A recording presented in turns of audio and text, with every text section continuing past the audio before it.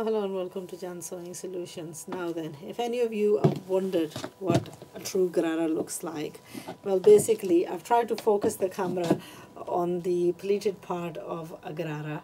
Uh, to be honest, it's not something that I would wear. It's not my cup of tea, but my job is to illustrate and to demonstrate and to really show you what the thing looks like.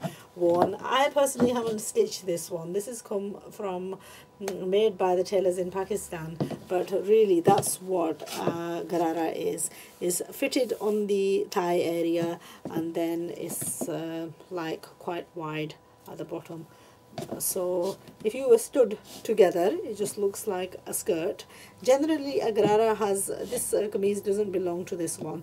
Mm, but uh, generally uh, it's normally covered by a tunic up to the point of where the gathers start or where the embroidery is entailed. Now this one actually does start from the knee, unlike the one that was uh, I've replicated from a, uh, from a magazine.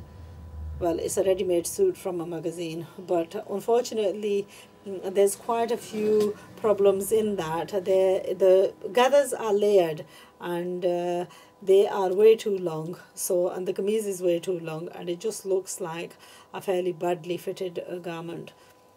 Anyway it's not my problem. That's been something that's been bought as far uh, ready stitched we can only do up to a certain degree with ready stitched suits